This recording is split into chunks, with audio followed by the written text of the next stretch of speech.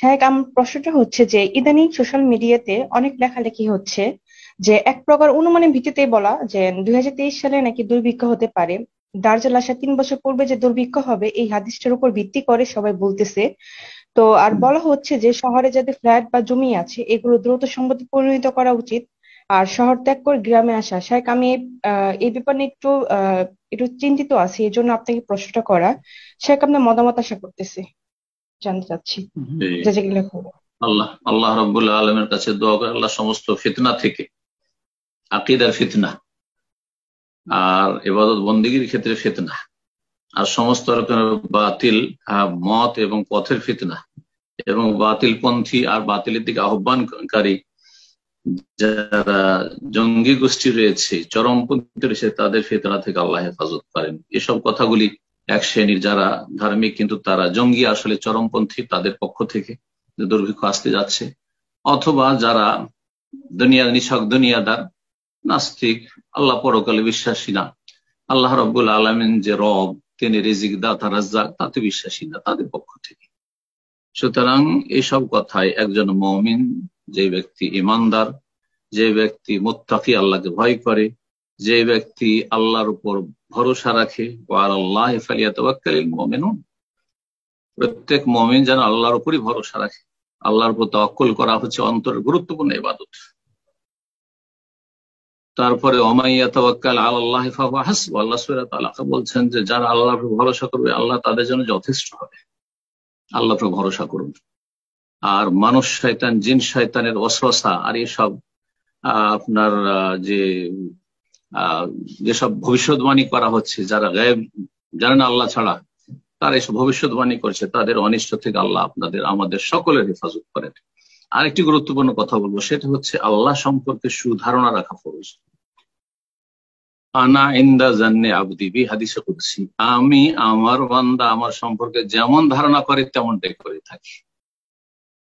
ফলিয়াজন্নবী মাসা সুতরাং আমার সম্পর্কে যেমন ইচ্ছা, তেমন ধারণা করব তারপরে রসুল্লাহ সাল্লাহ আলী সাল্লামের এও হাদিস হয়েছে যে আল্লাহ সম্পর্কে আল্লাহ বলছেন হাদিসে কুলসি যে আমার সম্পর্কে ভালো ধারণা রাখো। জি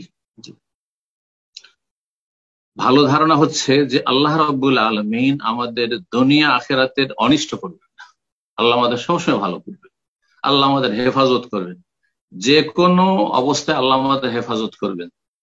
দুর্ভিক্ষ আসুক দুর্ভিক্ষ আসুক, ফেতনা, ফাসাদ আসুক আর বালা মুসিবত আসুক, সবকিছুতে আল্লাহ হেফাজত করবে। দুনিয়ার অবস্থা যেরকমটাই হোক না কেন, আল্লাহ আমাদের হেফাজত করবে। এটা হচ্ছে আল্লাহ সম্পর্কে হুসনে জান, সুধারণা, যেটা ফরজ আর আল্লাহ সম্পর্কে যদি ভালো ধারণা রাখেন, তো আল্লাহ রব্বুল আলম কীভাবে যে হেফাজত করবেন, কীভাবে যে আল্লাহ সুব্যবস্থা করবেন, সেটা মানুষের কল্পনার বাইরে।